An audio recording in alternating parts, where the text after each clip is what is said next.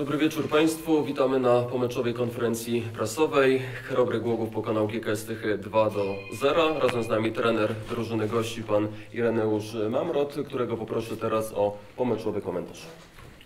Y, Przede wszystkim dzień dobry Państwu. No bardzo ważny mecz, tak. Y, Te, te, te mecze, które mieliśmy wcześniej, takie w cudzysłowie, bo nie lubię tego określenia, te 6 punktów z Mielcem i Puławami przegraliśmy dzisiaj. Bardzo ważne dla nas spotkanie y, zakończyło się zwycięstwem. Ym, Jeśli chodzi o, o, o grę, muszę powiedzieć, że gdybym przegrał, to tego nie powiedział, bo byłoby, że szukam tłumaczenia, ale naprawdę ciężko się gra na tym boisku. Jest bardzo grząskie. Ym, W drugiej połowie już, już y, nie jest tak łatwo składne akcje, aczkolwiek y, no cieszę się, że, że, że też w tych ważnych momentach i trochę szczęścia było i Antek nam pomógł, bo, bo, bo przy wyniku y, 1-0 y, była sytuacja mm, bardzo dobra dla, dla, dla, dla GKS-u Tychy i, i, i Antek to obronił. Mm, Także tutaj jest, y, na pewno cieszy to. Y, Cieszy, że w końcu sk- skończyliśmy mecz bez straty bramki, bo, bo sporo nad tym pracujemy, a zawsze gdzieś mm, coś nam się przytrafi. No, cieszymy się ze zwycięstwa i, trzeba myśleć już o, o następnym meczu z Pogonią Siedlce, bo, bo y, tych punktów dalej jest y, za mało, żeby zrealizować swój cel, więc, więc trzeba dalej szukać następnych spotkaniach. Dziękuję bardzo. Dziękuję bardzo. Czekamy na Państwa pytania. Maciej Grygierczyk. Dzień dobry, to że Wieteska, trzeci gol, trzeci gol wiosną. To jest taka wartość dodana tego, tego transferu, że on jeszcze się umie znaleźć pod Głowa. No myślę, że jakby jeszcze trzecia rzecz, tak, jest bardzo ważna, że on jest też młodzieżowcem. Młodzieżowiec, i, w defensywie y, solidnie gra, także tego y, przede wszystkim on zachował duży spokój przy tym fragmencie gry, tak, zachował się jak napastnik, bo, bo to nie był taka, taka, to była powiedzmy druga piłka, przyjął ją, uderzył wewnętrzną częścią bramkarza. Y, Na pewno no, szacunek, no, szósty mecz, trzy bramki, no to, to, to, to napastnik by się nie postawił takiego dorobku. No to tak a napastników, też chyba z serca, że Wojciech wreszcie, wreszcie się. No cieszymy się bardzo, bo Paweł y, bardzo mocno pracuje na boisku. Y, Jest, jest aktywny, gdzieś zawsze czegoś mu brakuje. No dzisiaj strzelił bramkę, więc nie będę, nie będę gdzieś tam y, jeszcze narzekał, ale myślę, że, że, że, że miał jeszcze dwie dobre sytuacje. Jak jeszcze by którąś wykorzystał, to, to, to jeszcze lepiej by to wyglądało. Ale swoje zrobił, w ważnym momencie na 2-0 strzelił. Wiadomo, że mm, 1-0 to, to, to, to jest bardzo trudny wynik. Mieliśmy przykład z 4 dni w Legnicy, gdzie, gdzie mieliśmy dwie sytuacje znakomite na 2-0, ich nie wykorzystaliśmy i dostaliśmy bramkę 1 na 1. Ważne, że, że Paweł to strzelił i no nie krywam, wracamy, wracamy zadowoleni do domu. Witamy na drugiej części konferencji prasowej. Razem z nami trener GKS-u Tychy, pan Juri Szatałow. Panie trenerze, w pierwszej kolejności poproszę o pomeczowy komentarz. Mm.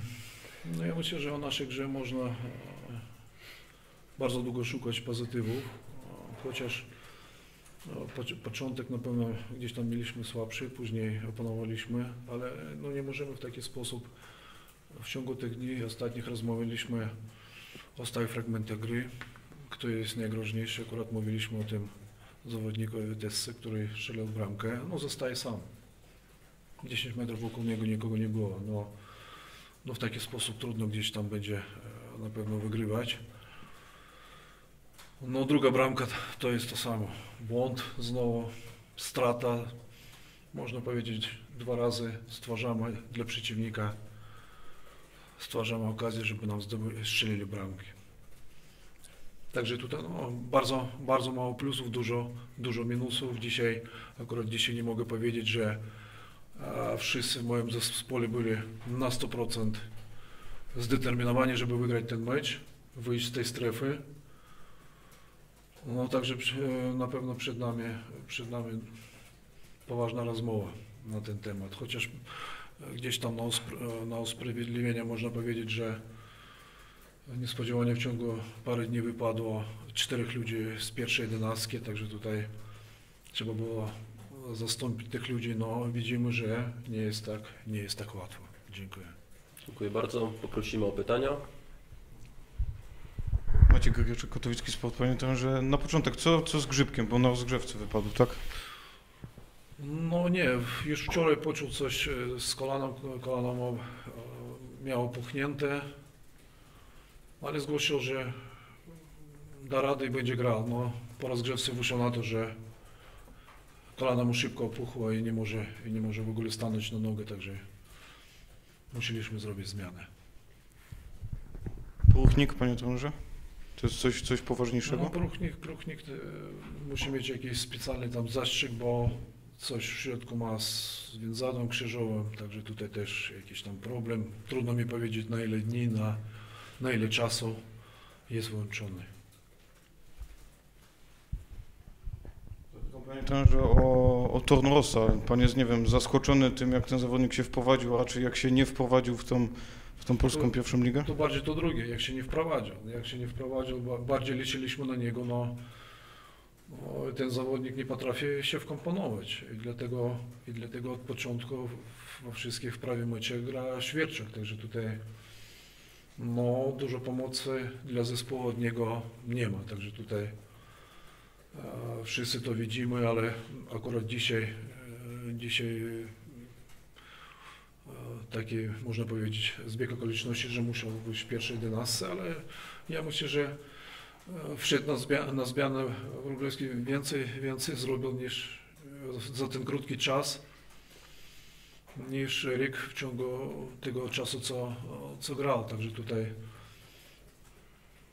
jestem no, bardzo negatywnie zaskoczony takim, e, taką grą e, nas- naszego napastnika. Tomasz Boczek, panie trenerze, powiedział, że szkoda tego meczu, bo Choby to był chyba najsłabszy przeciwnik, jaki w Tychach y, gościł tej wiosny, a mimo to pierwsza poczka na własnym stadionie. Pan podziela takie zdanie? Nie, nie. No dlaczego słabo? Jak 2-0 z nami wygrywa, chociaż e, na pewno przewagi jakieś tam optycznej nie mieli, ale stworzyli to, co powiedziałem. Stworzyliśmy im bardzo dobre sytuacje. Także tutaj to bardziej trzeba myśleć nie o przeciwniku, a o sobie, bo to, co powiedziałem, mieliśmy taką szansę e, nawet mentalną wyjść z tego, z tej strefy, ale znowu trzeba zacisnąć zęby i znowu trzeba walczyć, żeby poszukać następnej szansy, żeby odskoczyć. Także coraz e, bliżej, bliżej końca sezonu i coraz trudniej, coraz trudniej będzie to robić. Czy mamy jeszcze jakieś pytania?